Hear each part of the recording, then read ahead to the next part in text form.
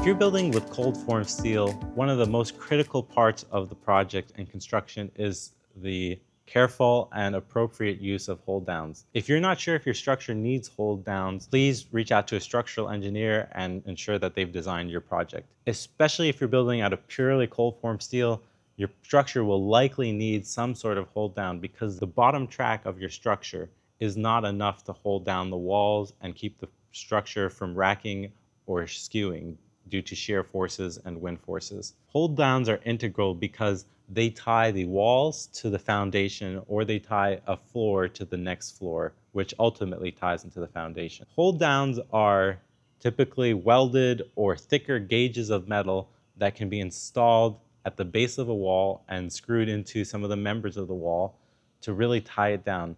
They work very commonly in conjunction with shear walls. Shear walls, as they're named, prevent the building from shear forces pushing it over.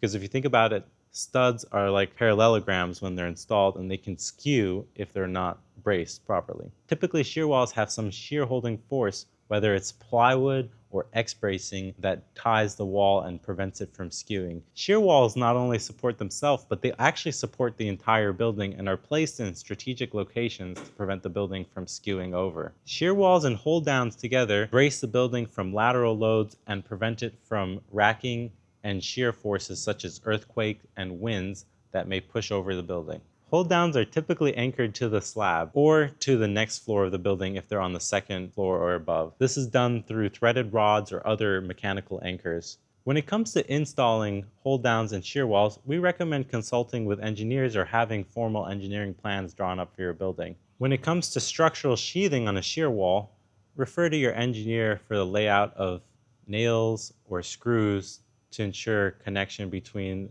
the structural sheathing and the wall. If your shear wall has X bracing, you'll typically see straps of flat metal that are run across diagonally and cross over each other. This creates a lot of shear strength because you can't skew that wall with the diagonal bracing. If you're installing a hold down, we recommend by starting with laying out where the hold down needs to go. Once you've laid it out, you should mark inside the wall where you need to put the threaded rod that will hold down the anchor. Then you take the anchor out and you start drilling a hole as deep as recommended by the engineer for the amount of hold down required. Once you have a hole large enough for your threaded rod, we typically recommend a structural epoxy that will harden very quickly. You put that inside of the hole and then you can put the threaded rod inside of the hole so that it gets essentially cemented into the concrete. If you're doing hold downs from floor to floor, you'll just have a long threaded rod that connects a hold down at the top of the wall and a hold down at the bottom of the next floor. Once you have a threaded rod inserted, then you simply put back your hold down and anchor it with a nut and washers to the threaded rod. And then you can screw your hold down into the wall using the specified number of screws and the right size of screw from your engineer. If you're drilling holes in a slab, it's very important to make sure that the hole gets cleaned out before you put the epoxy. Take a brush or an air gun and get all of the dust outside of the hole so that you don't have any fall in the hole whenever you put the epoxy in.